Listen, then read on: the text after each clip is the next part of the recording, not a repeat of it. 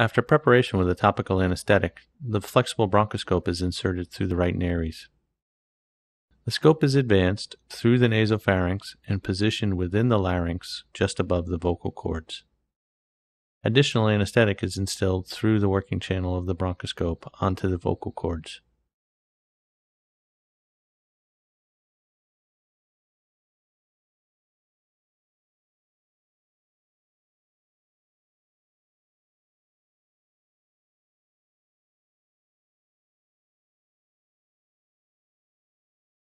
The bronchoscope is then advanced down the trachea into the right main stem bronchus.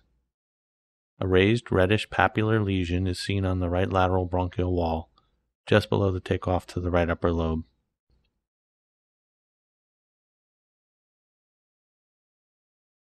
Additional anesthetic is instilled in the bronchus and onto the lesion.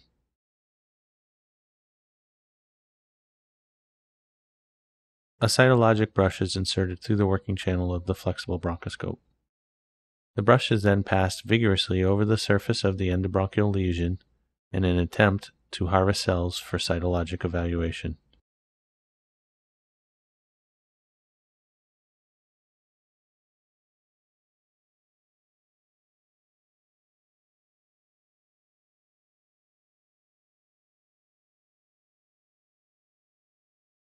The bronchoscope and cytology brush are then removed from the patient together.